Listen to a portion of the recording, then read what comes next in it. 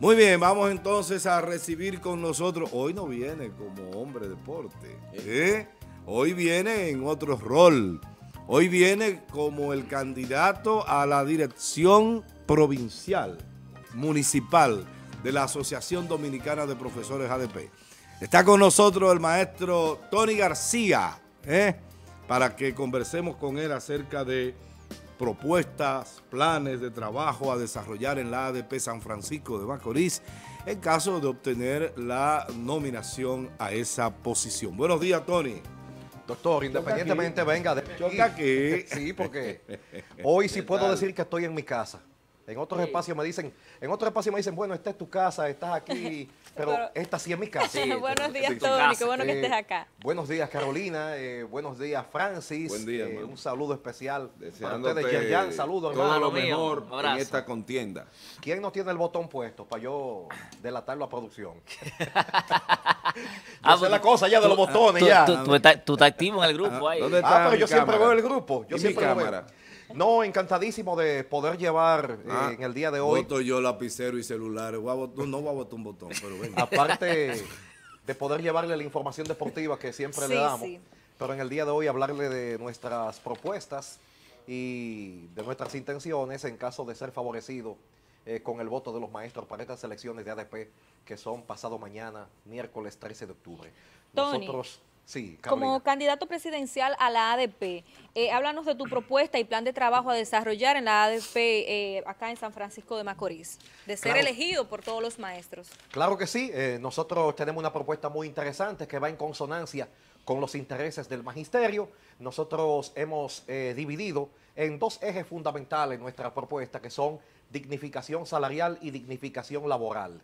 en el aspecto de dignificación salarial, nosotros hemos eh, ya colocado y ya se adelantó la presidenta nacional, Kenia Xiomara Aguante, cuando dijo que hay un aumento general de salarios para el mes de enero 2022 y entonces, eh, de acuerdo a la inflación, es el aumento. No se ha dicho, pero nosotros hemos puesto un número. Nosotros hemos solicitado que sea de un 30% el aumento que estamos solicitando, porque a la casa hay que ponerle un número. Eh, dentro de ese aspecto también, nosotros estamos eh, solicitando, y ya se nos dijo que ya es efectivo, que el aumento al incentivo por evaluación por desempeño, que fue en noviembre del 2017, se les está pagando a los maestros ahora en base a 38 mil y pico que ganábamos anteriormente, pero recuerden que fuimos igualados en, en este mismo año, la igualación salarial ya contempla un sueldo base de 46 mil 212,32 y entonces debe calcularse ese incentivo en base a esos 46 mil y tantos eh, que ganamos ahora y no a los 38 mil que ganábamos eh, anteriormente.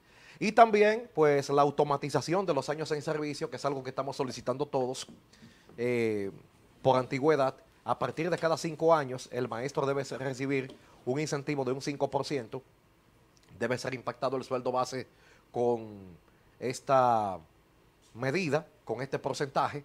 Y entonces hay maestros que tienen hasta los 15 años cumplidos y todavía no, no le han sido aplicados. Ya se nos dijo que habrán tres cortes para el próximo año.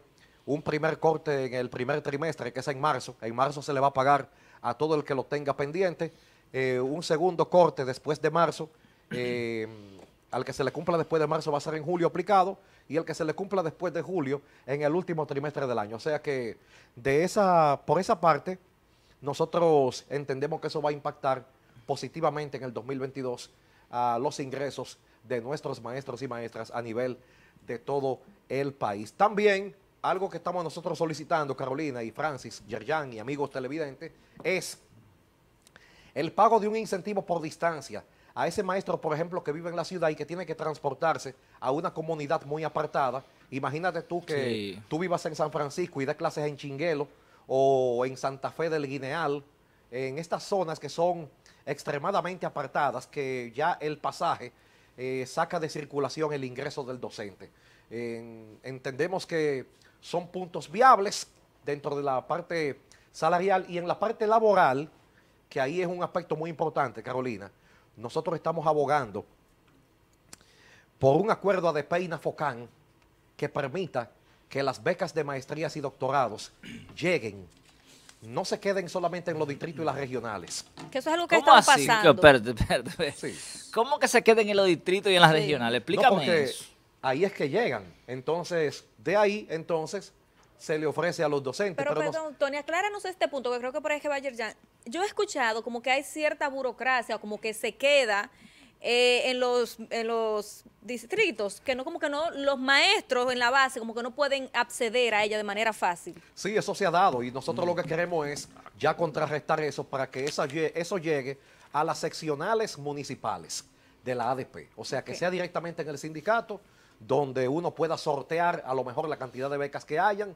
Por ejemplo, Francis Rodríguez quiere hacer una eh, maestría o, una, o un doctorado en ciencias sociales. Tenemos solamente cinco cupos disponibles y hay 15 maestros que están. Vamos a sortear entonces para ver cuál es el agraciado, porque no queremos tener favoritismo ni, de dársela a este ni al otro, eh, sino que sea sorteado transparentemente en, en una asamblea presencial ahora mismo ya con todas las medidas de rigor, mientras tú sabes que hay algo ya antes y después del COVID. Entonces hay que tomar medidas según sea. Eh, nosotros eh, optamos por aplicar esta medida para que sea lo más transparente posible. Eh, algo importante en la parte laboral es que estamos solicitando la ampliación de construcción de aulas para ir disminuyendo esa sobrepoblación estudiantil que tenemos. Yo en el centro donde laboro, que es en María Altagracia Paula, que es en la calle Emilio y Prodón, parte alta ahí, en el sector Villaverde. Ahí tenemos un sobrenivel de población, eh, una sobrepoblación estudiantil inmensa. Cursos con 35 estudiantes, eh, con 33, en aulas que son habilitadas para 25 máximo. Entonces, no garantiza ningún tipo de distanciamiento entre los infantes eh, ahora mismo con las medidas contra el COVID-19. Eh, nosotros también estamos solicitando en el aspecto laboral es un ayudante de aula para el maestro de inicial cuando pase de 25 estudiantes y uno para el de básica cuando pase de 30. Eh, sobre todo en el nivel inicial queremos hacer hincapié. Las maestras de inicial han sido las grandes olvidadas de las luchas anteriores. Estas maestras no tienen tiempo ni siquiera para ir al baño porque no tienen el apoyo de otras áreas curriculares. Pero en jornada tan extendida, Tony, vemos que tienen eh, ayudantes, eh, los monitores, ¿verdad? Los maestros. Hay monitores de educación física y así como nosotros buscamos monitores de educación física, que es el área a la que yo orgullosamente pertenezco, yo entiendo que debe designarse un monitor para inicial, porque esta es la etapa más neurálgica para el niño.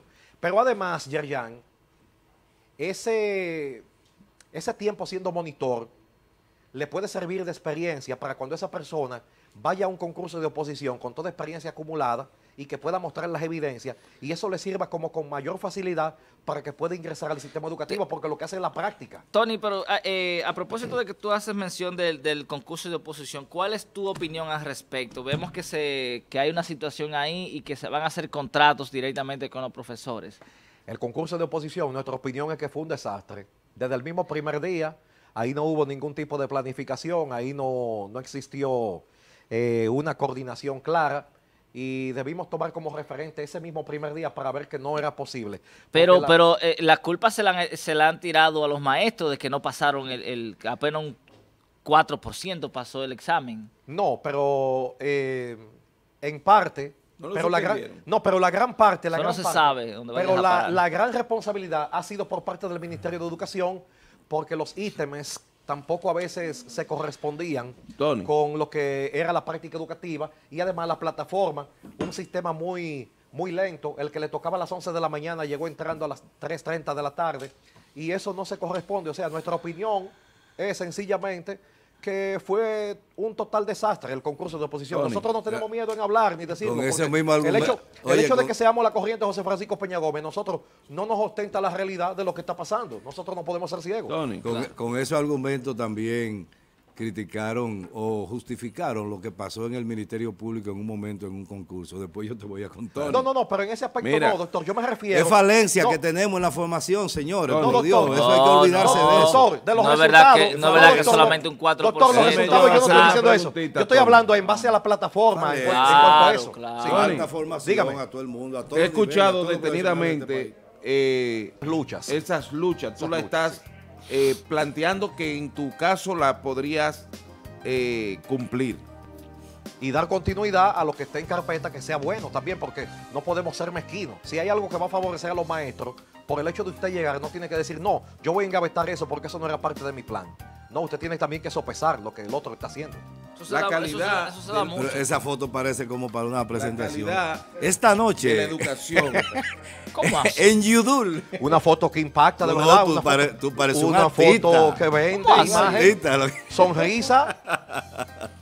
Eh, está muy bien, está muy bien. Al gremio, entonces, a los maestros de todas las corrientes, ¿qué tú les recomiendas que ¿Por qué, por, qué te deben acompañar los maestros, su gremio y sus reivindicaciones? Nosotros eh, representamos más bienestar y más dignidad magisterial. Eh, a nosotros nos conocen ya mucho tiempo, más en el aspecto deportivo que en el magisterio, porque en el magisterio solamente tenemos seis años ejerciendo, aunque nos graduamos en el 2004, pero por dedicarnos a esa labor de comunicación, a esa parte de la crónica deportiva, entre otras ocupaciones que teníamos, no habíamos ejercido, pero eh, sí, una gran parte se ha sumado a este proyecto que nosotros lo hemos abrazado. Eh, tan pronto nos propusieron la candidatura presidencial. En principio yo eh, en realidad no estaba en nuestros planes, pero luego entonces de una asamblea que la corriente realizó a lo interno, eh, se nos dijo y se nos comunicó que nosotros hacia afuera teníamos eh, mucho más posibilidad eh, para poder levantar y poder construir esta candidatura que nosotros hemos captado la atención de mucha gente. Este fue un encuentro en el Ercilia Pepín el pasado sábado, el pasado sábado, y la muestra de apoyo muy concurrida, sobre todo por los maestros y maestras, y sobre todo ese día estuvieron dándonos apoyo a nosotros allá en el salón de actos. Eso fue lo para nosotros nuestro cierre de campaña a nivel presencial eh, para conjugar eh, una parte de cada centro educativo. No iban eh, los centros en su totalidad, sino una parte de cada centro. Bien, Tony, ah, para, para, finalizar, porque ya terminamos la entrevista, ¿verdad? Se nos acaba el tiempo. No, está bien. No sé si tuviste una polémica que surgió a raíz de que de una estatua de Peña un busto de Peña Gómez que se hizo. Todo el mundo está consciente de que el busto no se parece a Peña Gómez. Incluso hasta con Franklin Mirabal lo compararon. No sé si viste Ay, Dios mío. bueno, gracias, Tony. Candidato a la presidencia de la, asociación. Me gustaría ya brevemente, porque Tony le manda un mensaje a los maestros. Eh, para, las elecciones son el miércoles. Fue breve, Carolina, porque estamos contra el tiempo. Bueno, sí, un punto muy importante que no quería olvidar antes de mandarle mensaje es que nosotros también vamos a luchar por eh, mejores condiciones de salario para nuestros jubilados y pensionados. Es un sector que ha sufrido mucho, que nosotros tenemos que hacer que la ley se cumpla, que cada tres años hay que incrementarle el salario de acuerdo al índice de precios.